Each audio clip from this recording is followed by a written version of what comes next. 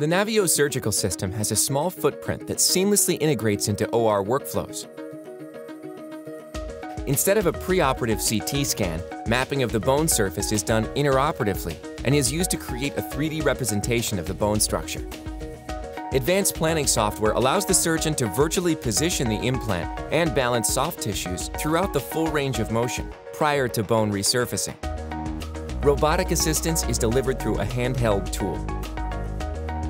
Computer navigation tracks the position of the robotics-assisted handpiece relative to the bone surface. The surgeon accurately removes the damaged bone surface using robotics assistance, making room for the implant.